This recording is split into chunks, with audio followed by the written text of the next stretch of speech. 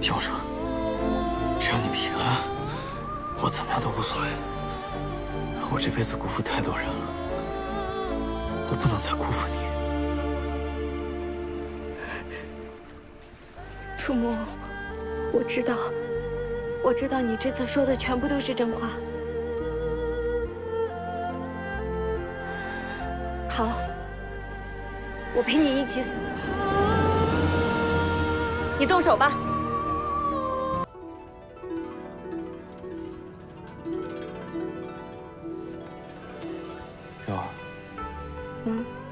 我喜欢你。我知道啊。你喜欢我吗？不知道。哎，你喜欢我什么？我喜欢你总是那么一本正经。你知不知道，我刚认识你的时候，真的不习惯。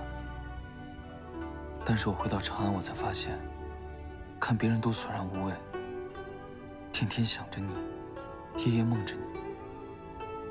我连读书、射箭、喝酒，我心都揪着，我都在想着你每天是怎么骂我的。哎，你怎么把我说的像母夜叉一样？啊，我，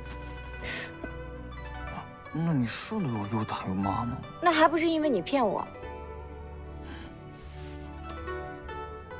我发誓，我再也不骗你了。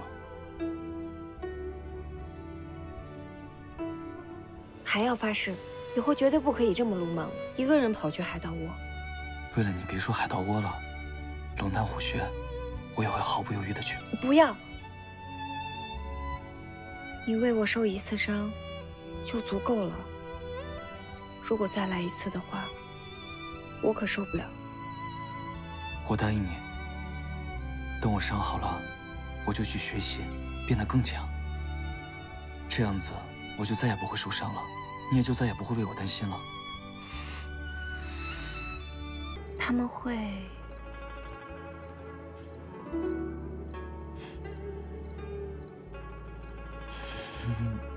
哼，他们会缝上你乱说话的嘴。你缝上我嘴，我怎么亲你啊？谁让你亲我？谁让你亲我？谁让你亲我？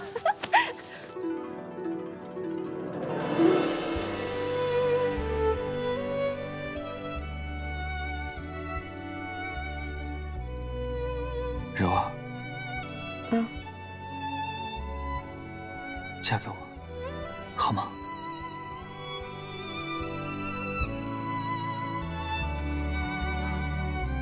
父母之命，媒妁之言。你放心，一定按规矩来。可是，可是我怕你父母看不上我。